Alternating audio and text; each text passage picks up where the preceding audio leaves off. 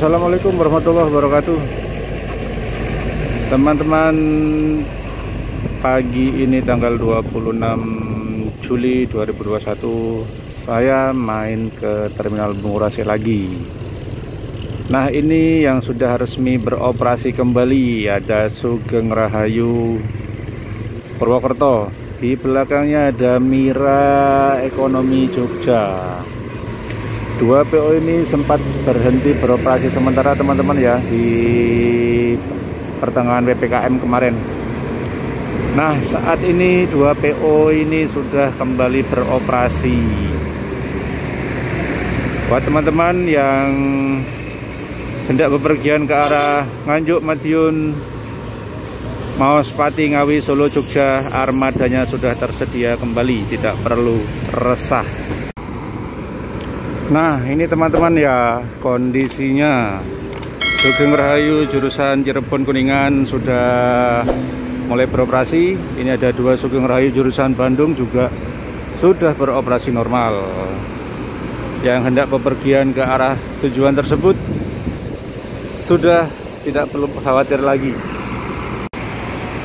Di jalur Purwokerto ini sudah beroperasi juga POEK Nah teman-teman yang akan ke Purwokerto POEK nya sudah siap melayani kembali. Nah ini dari depan shelter ya.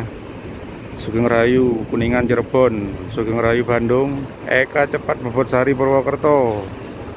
Eka Cepat jurusan Solo Semarang juga sudah ada semuanya.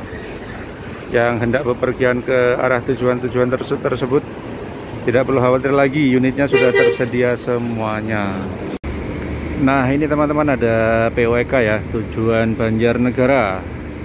Magelang Temanggung Wonosobo, Wonosobo Banjarnegara. Segera memasuki shelter PO nya sudah mulai beroperasi kembali secara normal.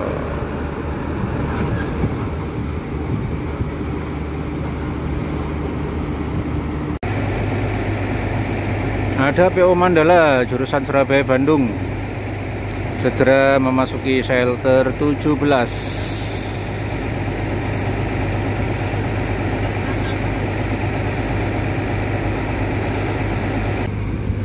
Nah ini dari depan terlihat ada Eka jurusan Surabaya Bandung.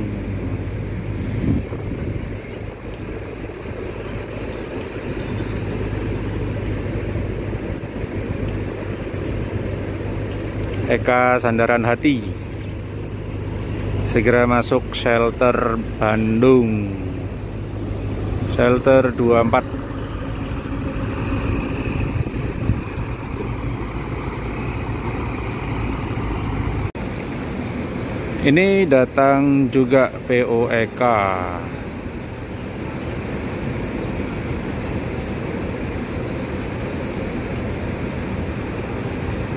jurusan Semarang.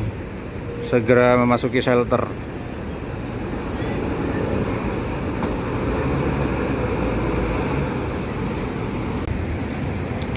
Nah ini sumber selamat. 7106 UZ segera memasuki shelter pemberangkatan.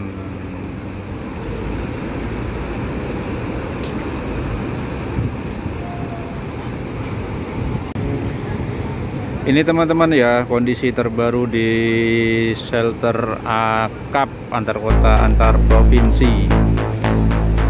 Shelter 18 ekonomi Solo Jogja sudah normal kembali. Shelter 20 uh, shelter Patas. Jurusan Jogja jurusan Semarang jurusan Magelang pun normal kembali.